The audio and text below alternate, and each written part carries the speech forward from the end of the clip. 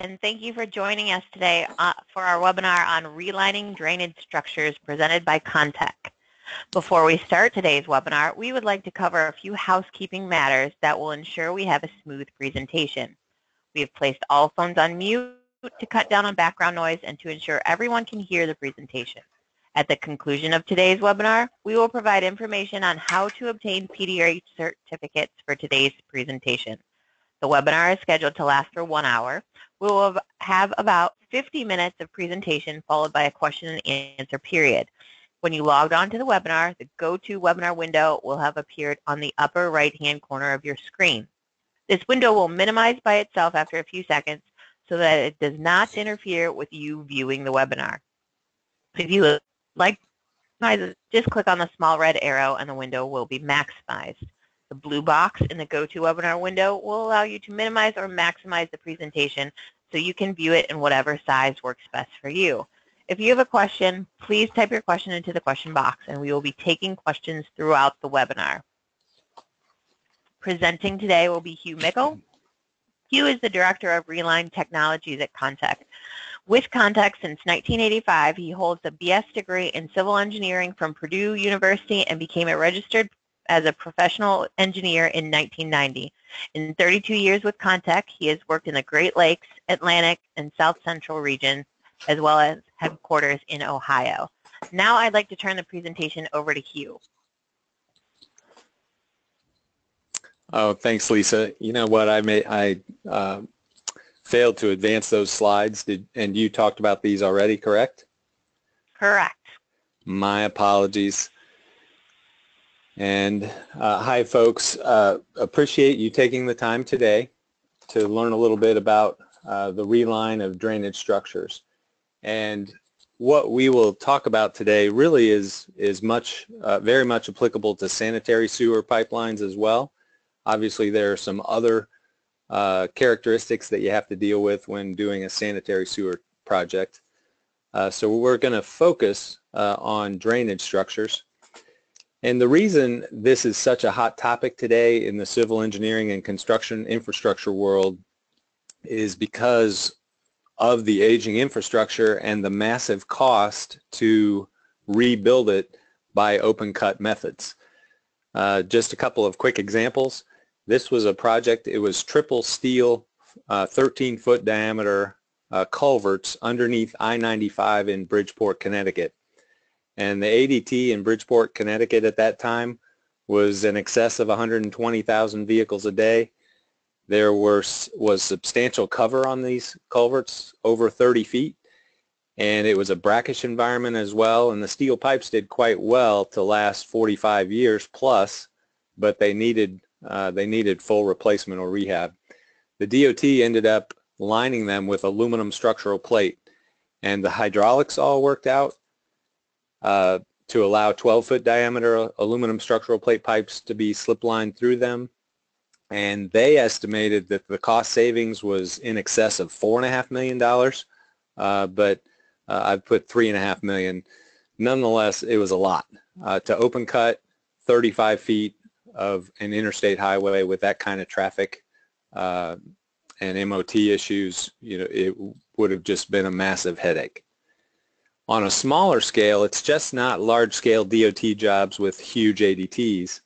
Uh, county and municipal markets and even private structures uh, can also benefit from these techniques. In this example, the replacement cost for new 12 by 12 concrete boxes was $379,000 on a project in Missouri, and they ended up spending $41,000 for aluminized CMP and slip lining the existing cast in place boxes. So the cost savings can be huge, but again, the, the MOT issues, the maintenance of traffic issues that can be avoided are even potentially bigger. So by the end of today, the goal is to allow you to feel much more comfortable and confident in tackling a potential reline project.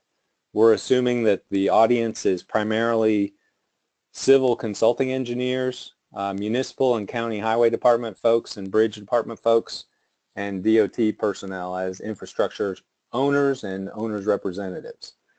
Uh, we've targeted this group in recruiting you to, to hear this message. And again, our, our goal is to take a broadly generic view of this uh, and then elevate your confidence by the end of it.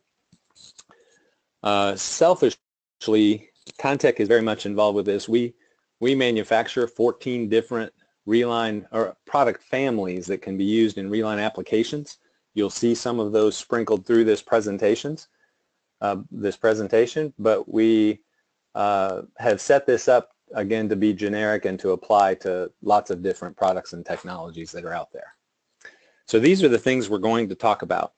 Uh, I've narrowed it down to seven critical design and construction considerations, and all of these need to be thought through during the planning stage of a project or the scoping phase. From a condition assessment uh, review, hydraulics analysis, structural design techniques, material selection obviously is very important. Constructability is critical. That can make or break a project. And then perhaps the second highest risk item other than sizing and dealing with hydraulics uh, is grouting. And finally, we'll talk a little bit about plans and specifications and what should be in them. We'll wrap up with a case study and then talk a little bit uh, broadly about uh, what resources are available. And finally, at the end, we're going to open it up to questions. I think we may have 12 to 15 minutes uh, of Q&A time. So as we're moving along, if you think of any questions, please log them and Lisa will, will pose those questions to me at the end. From a condition assessment standpoint, the key is you've got to get inside and see it. When you're dealing with a structure, and for, for us, by the way, a structure means the pipeline or culvert or bridge structure.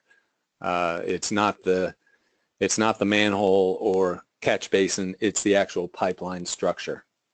So you've got to get in and see what's going on. And of course, you have to recognize what it is. Uh, upper left is slabbing that has occurred in a reinforced concrete elliptical pipe. Upper right, and that's a significant issue, of course. Upper right looks pretty ugly, but it might not be. It's just a rusting of the lower cage or resteel in a, in a cast-in-place box. Lower left is a another RCP pipe, uh, but there are some strange things going on. You can see the flow, but you can also see that there is infiltration through the joints. Uh, and the timing of this photo would be very important to know if that was from a groundwater surcharge or if that's a constant thing. And the lower right, I don't know if you can see my arrow, but there's a, a squiggly darker line in the corroded zone and we saw that in a video, a grainy video uh, years ago ahead of a, uh, reline opportunity. And it was a great concern as we got inside it and looked at it more closely. It was a full corrosion failure of the of the uh, steel wall at that level.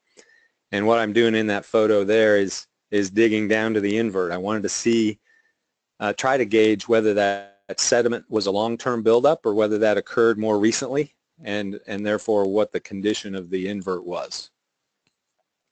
The bottom line is whether you're dealing with pipe wall issues, it's easy to see some things from the end, but you can't always do that. You've got to get inside and take a look at joints and, and uh, inlets and uh, drainage uh, tie-ins and, uh, of course, the pipe wall all the way through oftentimes, as you all are much more aware of than me, uh, it's it doesn't come to a head until there's something that happens on the surface, and that's very unfortunate. I'm a big proponent of inventorying all culverts and storm sewers that are 48 inch on up, uh, or anything under significant fill, or anything under significant uh, traffic uh, volumes. And watching those things uh, to keep an eye such that you don't have a sinkhole that develops or, or a total washout that develops. These things can kill people and uh, it's our responsible responsibility collectively to look at these things ahead of time to try to prevent them. Also, you've got to research the background and history of a structure. Uh, in this case, this was a 1930s uh, pipe that had been installed for a, a creek enclosure. And we learned that very early on additional fill was placed. And so it was under designed and the pipe reacted by cracking the top and bottom. And about 30 years into its age, the owner poured a concrete invert in it. Uh, the steel banding that you see here is what the reline contractor did ahead of a of a relining project to provide some tensile reinforcement across that crown uh, area to make it a safe working environment. Once again, you've got to get inside and look at it. And you've got to, excuse me, you've got to understand what you're seeing. On the left, this is a bituminous coated corrugated metal pipe arch, and it's a actually a prime candidate for a paved invert or a spray-on lining because most of the metal uh, in the invert is still there. The, the bituminous coating is gone, the galvanizing is gone closer toward the invert, but there's not a lot of base metal loss there yet. So now is the time to put a paved invert in it and you can turn this into a 100-year structure. On the right, this is, would be a very challenging project to do with a with either a spray-on lining or a concrete paved invert because of the total metal loss. Uh, so those decisions have to be made as well. We often get asked if inverts can be replaced in the in multiplates or uh, what the best approach is for a concrete paved invert. And I always defer people to Caltrans. They have published a document uh, it's DIB 83 where they review a lot of reline technologies that are out there, but they have a terrific approach to designing paved inverts. And fundamental in that approach is that the new paved invert picks up the wall thrust that is carried in the host pipe and transferred into that uh, partial lower arc that becomes a compression arc.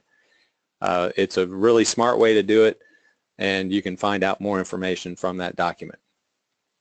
So beyond assessment, the biggest decision is hydraulics. And usually hydraulics governs in a reline decision and it becomes a matter of what will fit and still meet the hydraulic criteria. Uh, oftentimes regulatory agencies and let's just say less sophisticated uh, engineers might say that the goal is to just line it with something as big as you can and make it as smooth as you can so it optimizes the hydraulics. And that that really is a an incomplete statement uh, or an incomplete approach. You you have to run the hydraulics uh, in every situation, and the reason is many culverts operate in inlet control hydraulically, and a typical uh, section of what that looks like is shown here, where the the roughness and the length and the slope of the culvert don't matter. It's simply a matter of the waterway area at the inlet and the inlet condition. In this case, a projected, projecting sharp-edged inlet. And that's extremely common, of course, for corrugated metal pipes that are in the inventory. So in this situation, smoothness doesn't matter. It's a matter of improving the inlet and optimizing the area. The hydraulics programs that are available also look at outlet control, and this is what it can look like, where either the, the uh, downstream end is submerged or there's a headwater or a tailwater situation with the water surface that uh, causes the pipe to flow full. And in those situations, roughness, slope, length, etc., and of course inlet condition and area all matter. And so that's where a, a smooth liner uh, can help quite a bit. But you've got to evaluate both. And uh, I was a civil graduate from Purdue with a bachelor's degree. I had one hydraulics class and we did not talk about inlet control and outlet control. I didn't learn about that until I got out in the in the working world. Oh, what happened? Sorry about that. So you've got to look at both. A great hydraulic analysis software program is available for free and the current version is 7.50 I believe but it's an FHWA generated program it's maintained by them as well through the McTrans Center at Florida, University of Florida, and you can download it for free. And it evaluates inlet control and outlet control. You, you run it all. If you set it up correctly, it shows you the headwater depth in both scenarios, and then you know how it's operating. One of the ways you can deal with a smaller area is by improving the inlet. And in this photograph, uh, that's actually a Contech sales engineer in, in New England and he's very proud of the fact that he knows to recommend an inlet uh, that is improved. And in this case, with a head wall and a beveled edge, that takes the inlet loss coefficient down to 0.2 versus 0.9 in the case of this projecting edge before they improved it and lined it. So that's an, a very important uh, challenge on any reline uh, project is the hydraulics from there, if you come up with a structure size that works and meets the hydraulic situation, uh, then you move to structural design. We are big fans of, of following AASHTO design methodologies. Uh, some ASTM methodologies are pretty solid and some are incomplete in my view.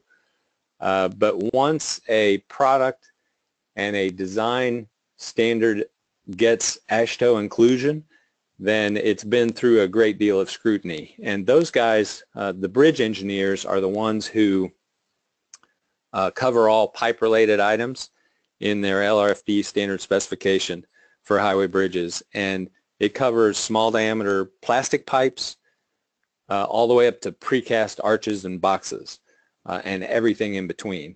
And that document is phenomenal. And that group is quite active. They're extremely talented and knowledgeable.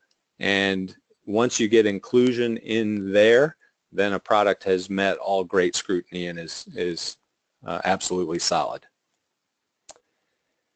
Uh, by the way, uh, we, uh, we strongly encourage you to take the design approach that base, basically assumes the new structure carries the full load. That can be conservative in uh, some situations. The only AASHTO stand, uh, design standard that allows for a less than full height of cover uh, design load is the tunnel liner plate design method. And that can be half to two-thirds of the load or so. Uh, but uh, and perhaps that applies in some reline situations, but where you have open joints or uh, inverts that are badly corroded and ma material is moving around and uh, of course when uh, the host pipe can potentially move from shifting ground conditions or reconsolidation of materials around the outside of it it really is an active load situation and and short of investigating that very fully which could be very costly uh, a smart approach is just to design it based on uh, carrying the full load so next is material selection this is a listing of reline materials that are very common in the U.S. Uh, the ones in red are those that we do not uh, manufacture or participate in, uh, but they're all very solid approaches when done correctly and applied correctly. Um, segmental slipline products are extremely cost effective. That's typically the most cost effective approach to a reline project. Uh, but when access is limited, there are other approaches uh, approaches that are viable, uh, depending on whether you have to use a uh, an insertion pit or just run through the manholes. When you are limited to just manhole entry, the limits, the uh, options become more limited. The spiral wound uh, option is good, but that typically is just a round structure.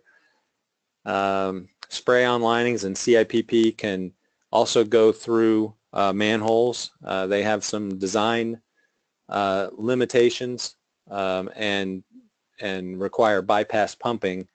Uh, the spiral wound does not. We'll talk about that in a little bit, but this is a listing of, of uh, material options. I want to point out uh, something, and, and that is, you know, we've, we've been a manufacturer of CMP uh, since it was invented, nearly since it was invented in 1896. Um, it started as an, an association of those groups, and then we provided uh, Arm, uh, Armco ingot iron sheets, and eventually we bought many of those folks and uh, formed the old Armco Metal Products division, and then we became Contech. But new CMP that we sell today oftentimes is of a much different grade than the galvanized CMP that that uh, was used for many, many decades or the bituminous coated option. Aluminized is much more durable. It's typically three times more durable and we know a lot about what it will do and where. That started in the 50s, that, that baseline of knowledge, and Caltrans did it. They looked at 7,000 culverts in their system and did water sampling, and they took uh, invert measurements to determine metal loss. Uh, they also made notations about the flow and uh, flow characteristics. And what that did is generate this. And basically, if you know the pH and resistivity of the effluent at, at low flow, so it's typical, and you know some uh, velocity characteristics of the flow and how abrasive it is, you can predict the service life of these structures quite accurately. And it's based on galvanized. You can then uh, extrapolate it to aluminized based on the research information that is available really we haven't learned anything new since about 1991 when this document was published, uh, but we've compiled all the decades of CMP performance uh, characteristics and knowledge into two pages in this CMP design guide. And basically you have to know the water chemistry, which is, is a very inexpensive test, uh, and you have to know the abrasion level. FHWA defines four abrasion levels. They're based on a two-year flow velocity and the propensity to have bed load in it, which is sand, grit, gravel, that kind of thing flowing through it. From there, you can select a material that will last up to 100 years. So I would encourage you to use us as a resource. We have 120 plus uh, folks in the field, and they can tap into the knowledge base that we have uh, internally and we can help you assess structures. I would also encourage you to look at the water chemistry. The little, uh, whatever you call that, the meter that is shown in this photo, I actually took a photo of the one that I have. It's 150 bucks from coleparmer.com. And you can buy that and it gives you pH and conductivity, which is the inverse of resistivity.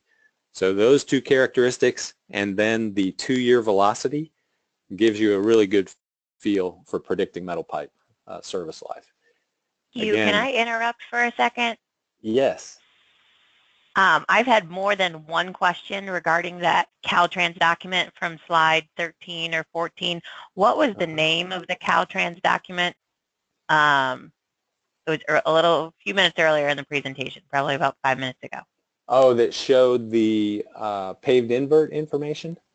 I think so. Did you say 83BE? Yes, D like dog, I B like boy, 83. Mm-hmm. DIB 83. 83. And okay. if you um, search that online, you can download a PDF copy of it. Okay, great. Um, I just wanted to get that answered because there were multiple questions coming up on that document. So I just okay, wanted to get no that problem. for you. Thank you. Yeah, thanks for doing that. Uh, we we believe there were over a thousand registrants for this presentation. So uh, again, Lisa, if you get uh, a bunch of questions, no need to save them till the end uh, on the same topic. So there are smooth versions of CMP in polymer and aluminized and aluminum. We're going to move on through this. This is what the UltraFlow or spiral rib uh, corrugation look like, looks like. That's the generic name. It offers a Manning's n of 0.012. And then we move to thermoplastic pipes. We, there are a number of PVC options out there. There is also a solid wall HDPE version. You can fusion weld it or you can use a, a basically a, a snapped together mechanical joint and that product that we rep is called SnapTite. Uh, their website is very good for uh, culvert reline information. It's culvertrehab.com. Uh, but if you just search for SnapTite, that'll find it as well. We manufacture a steel reinforced high density polyethylene pipe product called DuroMaxx and it has full AASHTO inclusion in their uh, installation standard and their uh, design standard. Um, it's available through 120 inch diameter and we make it down to 30 inch. It takes all the great advantages of HDPE uh, but combines it with the load carrying capability of steel and it's an 80 KSI steel uh, rib system that actually carries the load per the AASHTO folks. We make a spiral wound version of that product as well. Uh, all the equipment that you see in the upper right hand corner can be fed through a 22 inch diameter manhole lid. Uh, it's always quicker if you can take the frame and cover off, uh, but you don't necessarily need to take the manhole cap or the cone section off. But that product is designed much like a direct bury product, but it can be manufactured down inside of an access chamber or manhole. The project that is shown here, the lower left-hand photo, uh, I took that photo while they were manufacturing the product, and you can do it under flow with up to 30% of the flow depth in it.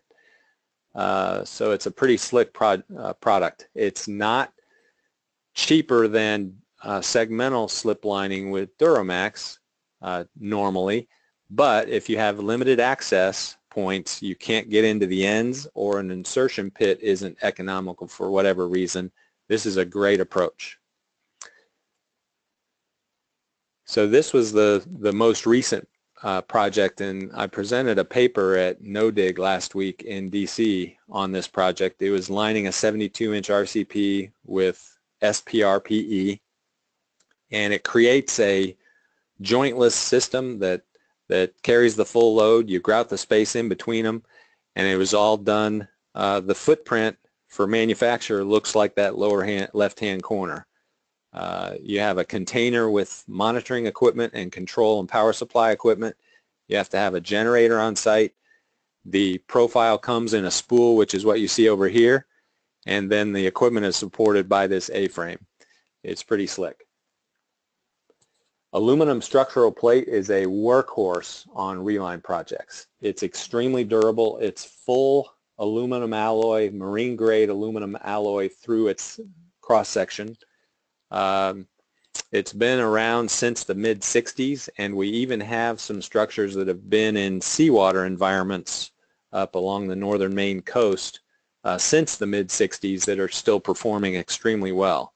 And it's very lightweight which is a wonderful thing uh, in reline applications. We make tunnel liner plate that can be used where you need to, to remine or do some hand tunneling work. And uh, it also, in the case of the project shown, it can be built and provide a safe working environment as you uh, work your way through a damaged or deflected or failing culvert structure. Next constructability. This is a list of things that you have to take a, a look at. Uh, safety of workers is always primarily uh, primary and job number one. Uh, access and economics is extremely important as well. And of course viability. So that means you have to look at traffic control, right-of-way, access, uh, access either through the ends or through manholes or insertion pits, you have to look at bypass requirements or whether you can cofferdam flow temporarily to do what you need to do. Uh, all of that rolls up into constructability. From a process standpoint, there are two primary methods. One is the continuous push method. That is where you place and then make the joint with the second piece in your work area and then advance it forward, repeat, advance it forward, and you end up basically pushing a train of reline pipe uh, through the access uh, location. Another one is individual segment method. On bigger structures, and we've done some that are 45 feet long and 10 foot diameter pipe, uh, but this can be done where you push the pipe segment through to its end location. The advantage there is you can partially block it as you go, and you don't need significant equipment if the pipe material is light enough. So it can be advanced sometimes by hand, sometimes with a small hand-driven cable winch. Uh, that process uh, can be repeated. The uh, access to the joint locations, which allows for blocking, is, is a benefit. And then, of course, this starts the process or the conversation around grouting. In this photo, you see vertical braces that are running up through a 12 o'clock grout port, and then they distribute the uplift load to those vertical braces through a floor beam. And that is, uh, we'll talk more about that later, uh, but that's a very important part of the grouting process. This is a picture that shows the final grout lift through a 12 o'clock port. And when PVC ball valves came out in the early 2000s, that was a wonderful thing in the reline world because you no longer had to spend 60 bucks on a brass ball valve for all these locations. You could spend six or seven dollars. Uh, so that's a wonderful thing. Normally grouting occurs through, oops, through the 12, through the grout ports that are in the wall. There are other methods as well that run grout, grout tubes through the void space on top or on the, uh, around the crown and place that grout at strategic locations. That is all uh, contractor choice in our view. Uh, they are the experts on grouting and we support them by making sure they know what buoyant forces are all about. This is a depiction of a, a grouting method from the end. It's going to be three lifts. The first lift will will be placed from the lower grout ports and allowed to set up, not achieve high strength, but uh, to achieve initial set before the second lift occurs, which will run up to this level, and then the third lift can go all the way up. What we like to do with the contractors is a buoyancy uh, calculation and a grouting plan that balances each grouting lift so that you optimize the use of your hold down force. That can be water inside the new pipe. It can be dead weight, sandbags, pipelines filled with water, or it can be the beam and jack method that you saw uh, earlier. And uh, but one way or another, you have to account for that. The only option is if you're allowed to float the new structure to the crown of the host pipe. Then buoyancy isn't necessarily con a concern, but you have to look at the crush strength of the pipe under those uplift loads. Cellular grout is is uh, has been around for a while, but the geographical uh, capability of cellular grout is now uh, fast growing and it can be found uh, in most locations. You can either uh, foam it in line with some reasonably priced equipment or you can foam it in your grout truck at right when it arrives to the site. But there are a couple of great advantages to cellular grout. Number one, it takes a heavy unit weight of grout down to a much more manageable level so you reduce the uplift loads. Number two, in this case where you're taking it to 30 PCF, one cubic yard of normal concrete grout or cement-based grout can become 3.8 cubic yards of cellular grout. That's a wonderful thing. It pays for itself. So uh, one comment again on grouting, all of the Reline products that you've seen from us uh, use conventional grout or a cellular grout that is low strength. And if you run through the structural design and actually calculated what the new host pipe exerts on the grout and therefore to the soil envelope and the host structure that will remain there, it's pretty low, uh, a low level. At 20 feet of cover and 120 pound per cubic foot uh, dead load unit weight of your soil fill, it ends up being just 17 psi of pressure that is exerted on the grout. So a 200 psi cellular grout provides a huge safety factor. So we're not talking about high strength structural grouts when you're doing uh, structure reline. So plans and specification wise, this is uh, the key. Uh, shape information on the host pipe is the key. If you have 3D laser profile information, that is uh, a wonderful thing for bidding contractors. At a minimum, you've got to have rise and span and uh, dimensioning information, and you need to tie that into elevations You can't just have two-dimensional shapes that are spaced every, say, 20 feet if you've got a bunch of up and down in your line, it doesn't do you any good if you're trying to push a cylinder through it, right? Um, this is a document that I'm starting to see all around the country. We've been pushing this document out for about 15 years. It was developed by an engineer for the Connecticut DOT on, on that Bridgeport uh, reline project under I-95. And it, even to this day, it's the best list of submittal documents that I've seen.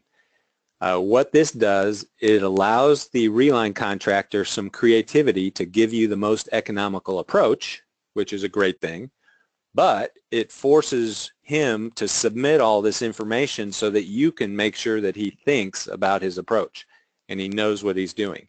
He's got to give you a bulkhead design. He's got to show you buoyant force calculations. He's got to show you a mix design and his volume, his schedule for the volume. All of these things combined let you evaluate whether he knows what he's doing and it can help make a project go very, very well. So a, a case study and then we'll open it up to some questions. Uh, this was in Connecticut as well. Uh, the Connecticut DOT jumped on the reline uh, wagon in the in the 90s, and they've saved many many tens of millions of dollars uh, doing this, and still satisfied the environmental folks and the hydraulic requirements on all these. Uh, this particular one was a steel pipe arch under I-91. It was built in 1964. It was open in the median, and we're looking at the head walls there. Uh, so they, uh, the amount of cover, however, was 22 feet. And that is not a good thing. That was a poor design decision made by somebody uh, back in the, in the 60s. Pipe arches are made for shallow cover structures. Under high fill, they generate very high uh, pressures in the corners. So when this structure began corroding uh, and moving because of the invert corrosion, it concentrated that high pressure even more in the haunch areas and it began squatting down. This caused the invert to buckle upwards, uh, which is what you see here.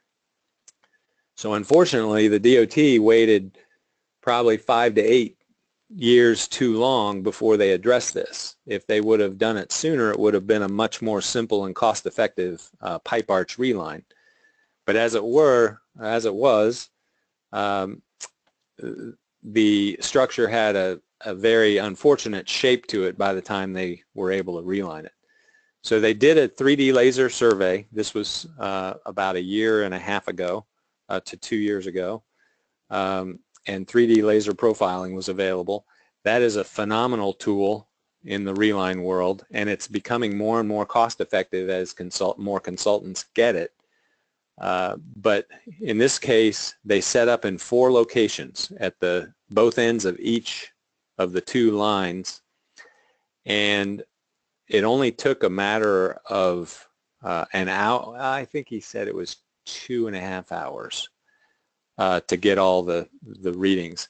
And from that, they generated a data file that was, I think he told me 160 gigabytes of data.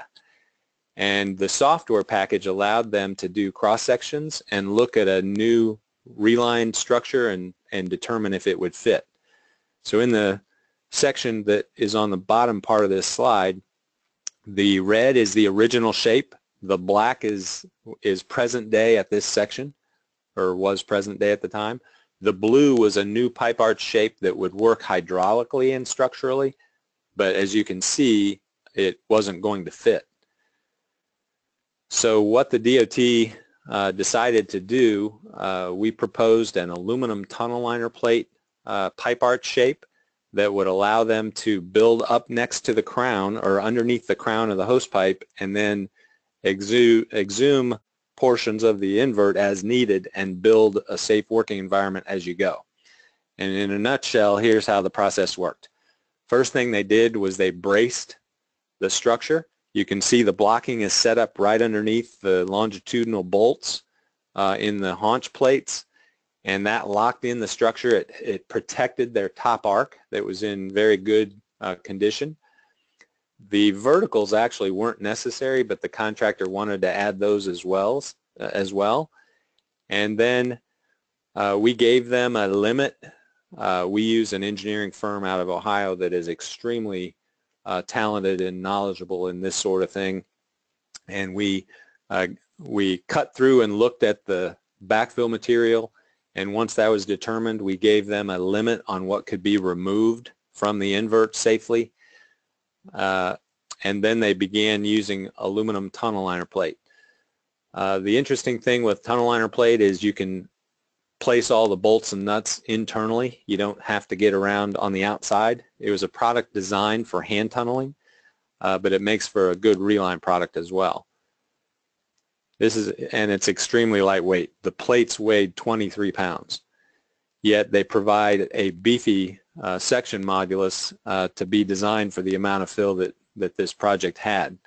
So the photo on the right shows uh, the, the bracing or struts out in front and they've removed those where the complete ring is and on the left of that you can barely see some blocking that was placed. That was designed by us as well uh, to be able to allow them to advance the new structure without bulkheading and backgrouting too often. And then this next picture, this is my favorite, uh, shows the guy cutting the invert on the, the left, and on the right, I'm standing, I'm sitting in the new pipe arch, and you can see how deep we are uh, cutting and removing the invert. So that project, they uh, again, it, was in the millions on what it saved. It, it was three and a half to four million dollars on what it saved. It was done as an emergency declaration project, which means a bridge engineer that was at the top of the list was was invited to participate and solve the problem. They did, and that particular uh, consultant, Ar- Arborio, is the name of them I'm sorry, contractor, Arborio Corporation, they had never done a tunnel liner plate job, nor had they done a reline job. And we were able to walk them through the process, and, and uh, they were quite comfortable with it. So we are uh, at 42 minutes in. As a quick review of the seven uh, items, and then we'll talk about some uh, follow-up information that is available, and then we'll take questions. Uh, the seven things that we tried to convey today are the are critical design and construction uh, decision points. Assessment of the host structure, a reminder you got to get inside and you've got to understand what you're looking at. Number two, hydraulics, you've got to run the hydraulics and you've got to use a program that will look at inlet control and outlet control. You can't just slip line it with something smooth and hope everything is okay. I've actually seen a DOT uh, bid a project on a 72-inch culvert reline job, and there was a, a letter from the DEP that said, yes, you can reline this, but just make sure it's smooth to optimize hydraulics. When in, in the drainage permit, it showed that it was flowing in inlet control in the HY8 run. So smoothness had nothing to do with it. The downside was they took the velocity from 17 feet per second, design velocity, up to 27 feet per second, and they didn't need to do that. Uh, so you've got to look at the hydraulics. Structural design, until AASHTO comes out with some methods that they are working on, it's smart to just assume the new structure carries the full load. Uh, design for durability on the material selection. Don't forget about CMP. Today's CMP products are much more durable than bituminous coated or galvanized CMP.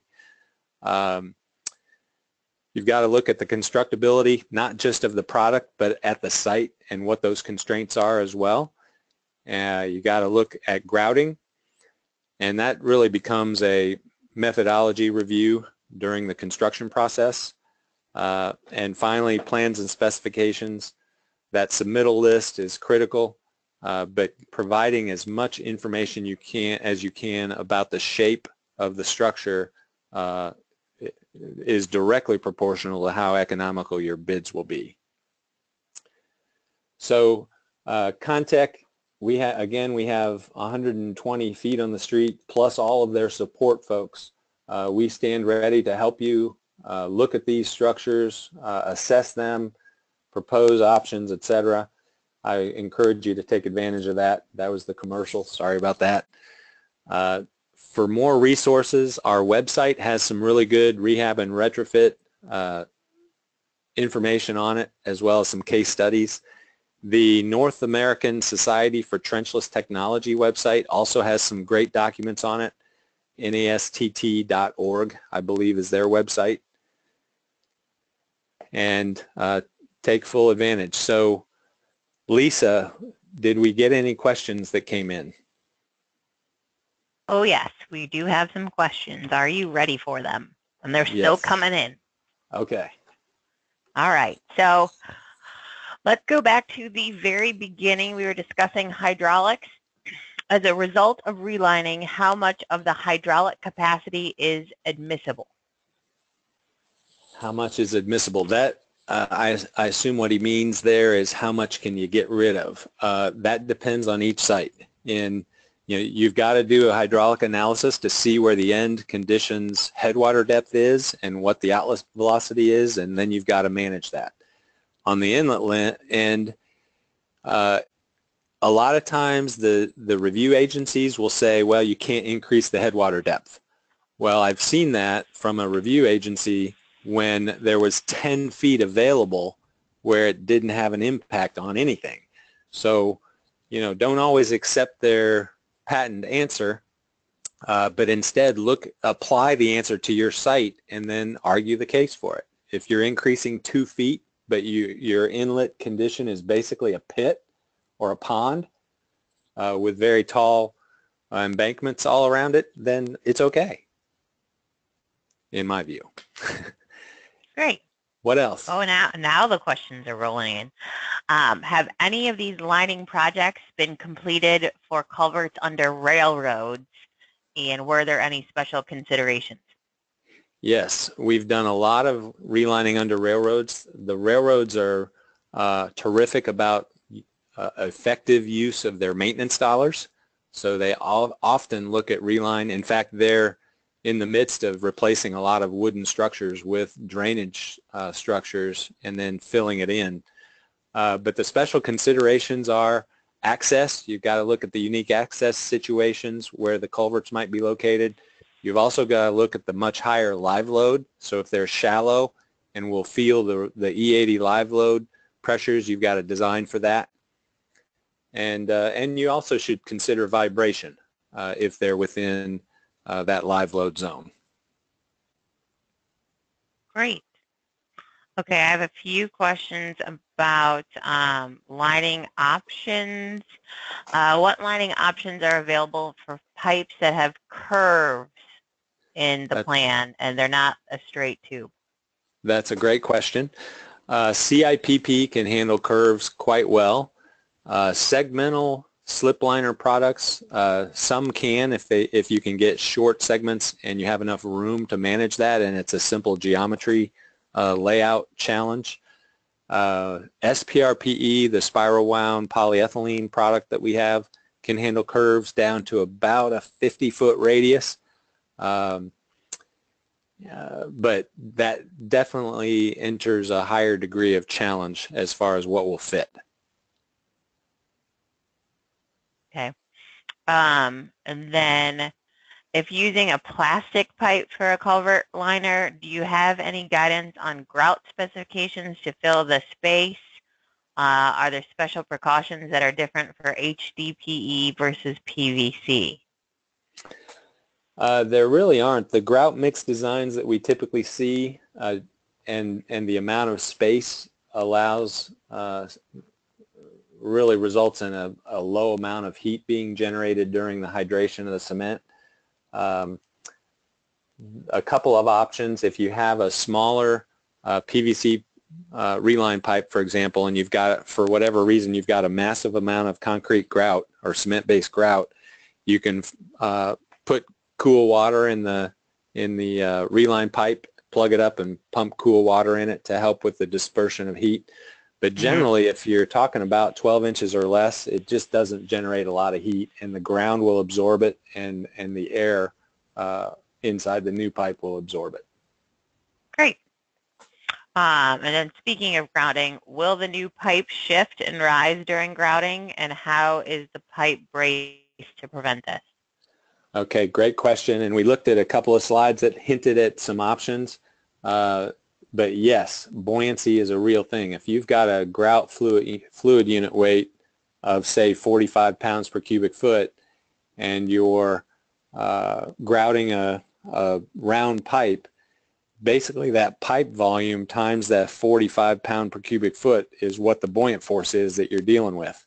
So you've either got to design it such that it can float to the crown or you've got to, the contractor's got to come up with a way to hold it down. That can be by filling the new pipe with water. Uh, if it's small, if it's big enough you to get in it, you can use uh, floor jacks, which are basically basically basement jacks that are very cost effective, and spreader beams along the floor to to take uh, those forces. Great. Um, I do have one. You talked about that list of contractor submittal items. Mm -hmm. Uh, can you tell us where that list came from? Yes, that came from uh, an I-95 Connecticut DOT project, and it was actually generated by STV engineers. And uh, I believe we have that in a in a Word document on our website. Okay, if good. not, they can download a PDF of this presentation and it would be there. Or ask a contact person for it. Okay. Um, the next question is for me, actually. Can you provide a copy of the PowerPoint? We do have a copy of the PowerPoint, a six-blocker slide um, under the Handouts tab of the GoToWebinar panel. So if you want to maximize your window, if you have um, minimized it, for the presentation. If you go to handouts, there should be one of five. Um, contact Reline at webinar 41917. It's a PDF. So go ahead and download it. I've gotten multiple questions on that. So um, just so you know, we did put that out there for you guys. And then, okay, next one, moving on. I like this one. What pipelining methods minimize temporary stream and wetland impacts? Temporary Wow, that's a great question. Uh, what reline options minimize temporary stream and wetlands mm-hmm. impact? impact? Yeah. Okay. Uh, bypass pumping is a great thing to control any uh, wetlands impacts upstream. Uh, it can create some challenges downstream. So really, it's more. It's not necessarily a product uh, issue, but a process issue or procedure issue, and they've just got to look at those things. Uh, if they, if you're using CIPP, for example, uh, UV curing is a good thing, but the standard CIPP processes release styrene uh, in the curing uh, water or steam, so that's got to be captured. That's uh, there have been some major fish kills as a result of styrene being released. Um, grouting, you know, some some environmental uh, uh, regulations limit the uh, the uh, spilling of grout in the stream, and of course that can be monitored and collected uh, prior to exiting the structure downstream. Um, I've seen uh, sediment bags be used to in the bypass pumping process to make sure that any unusual amount of sediment doesn't get released or anything bigger than a certain size for the bag. Um, and that's really about all I can contribute. I'm not an expert on that area. I think that's good. Um, what Moving on to another environmental question, what are the typical permitting or environmental concerns related to relining? Uh, most of the concerns that way in the permitting process are hydro hydraulic capacity and the impact upstream. Uh, the, the increasing the headwater depth can have a big social and environmental impact. So you've got to, again, you've got to run the hydraulics and look at that and then look at your topo maps to see uh, what impact any increase or change in headwater depth is going to have. and don't forget the outlet velocity as well, because you don't want to create a big erosion problem downstream because you've bumped up the, the outlet velocity. Mm-hmm.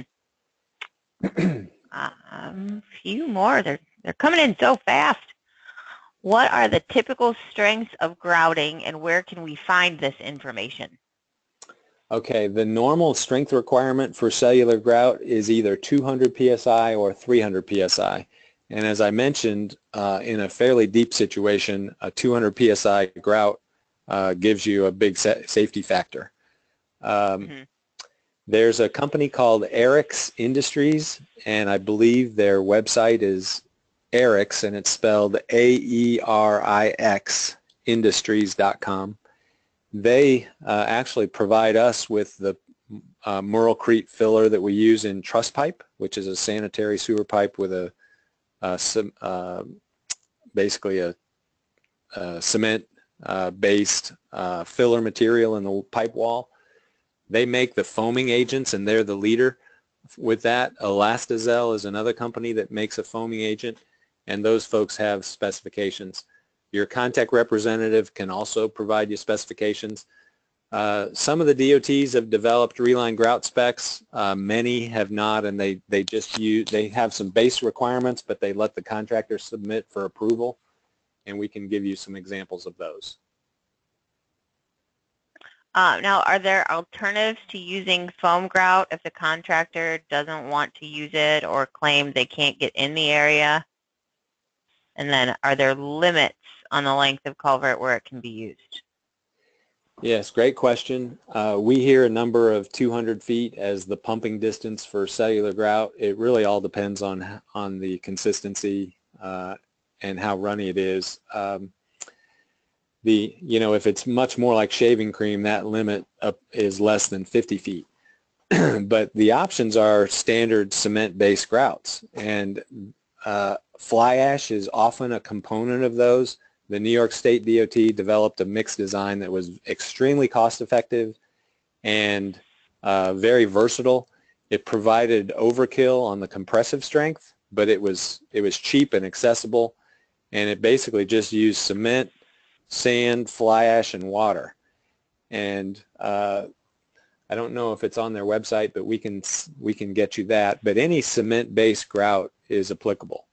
Um, but again, it's it's not a structural concrete. It doesn't need to be high strength.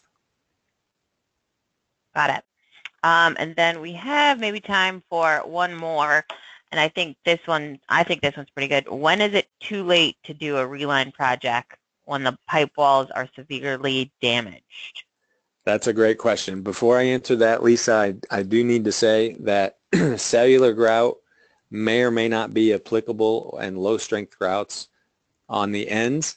If you're in a mm-hmm. freeze thaw zone or you're on the upstream end and anticipate debris and that kind of thing with impact, uh, a structural concrete is a good idea for the last one to two feet of the grout envelope on the ends. Okay. Uh, so next question, what was the question again?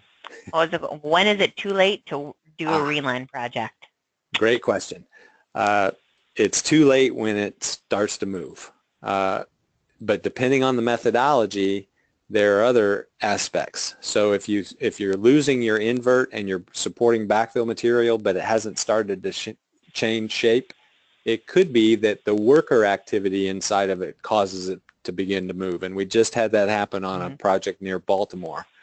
Uh, they they were going to slip line it with a very cost-effective aluminized Ultra Flo product, and the workers were in there setting up the bypass or the uh, the cofferdam flow through a six-inch PVC pipe down the middle and hanging. The uh, they had to change it to a tunnel liner plate approach. So that's the Great. easy answer. When it starts to move, you know you're mm-hmm. approaching. Um, but it's not too late. It just depends on what you're trying to do. Okay. And Hugh, do you have anything else to add before I close out the presentation? Because there have been a few questions come up regarding PDH certificates, so I wanted to get those answered. Okay. I tell you what, Lisa, the last time we did this, we had a similar number of folks on it, and it generated over 100 questions. I will personally answer every question that I didn't answer uh, through the email. Yeah, we got a lot of those. I assume you can capture all those questions, right? Yes, we, we will be capturing all of the questions that did not get answered today. I know we made through a lot, but there are so many people on the line. These uh, there are a lot, and they are very, very good questions. So Hugh will be personally contacting you. Um, at the close of this presentation, a new browser window should pop up on your screen with a survey about today's webinar. After you submit the survey, your responses will be manually processed, and you should receive a thank you for attending email within 24 hours with a link to download your PDH credit. Again, this process is manual, so it will not be immediately following the presentation. If you have any other questions or if you have not received your email within 24 hours, please contact info at conteches.com. Uh, we thank you for your time and hope you learned something today from our webinar and have a great rest of your day. Thanks, Hugh. Thank you, Lisa.